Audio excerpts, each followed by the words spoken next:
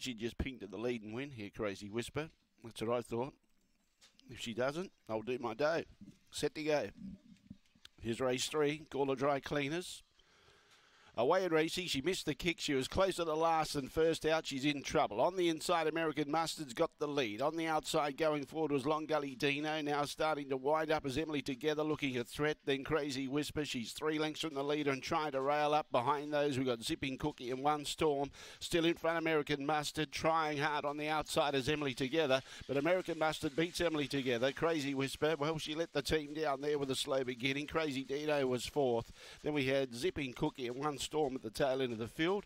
The run was pretty good, 23 seconds the time. It's 1 2 4, 1 2 4 and 7 after race number 3. 1 2 4 and 7, one length the winning margin. American Mustard, a good jump from the inside, was able to kick through and hold the lead, one length by one and three quarters. Whereas the favourite Crazy Whisper, she missed the kick today. And that's what happens, I suppose. 14 16 was the run home, 23 seconds even the gallop. 1, 2, 4, and 7. And American Mustard takes out race number 3. One length by one and three quarters.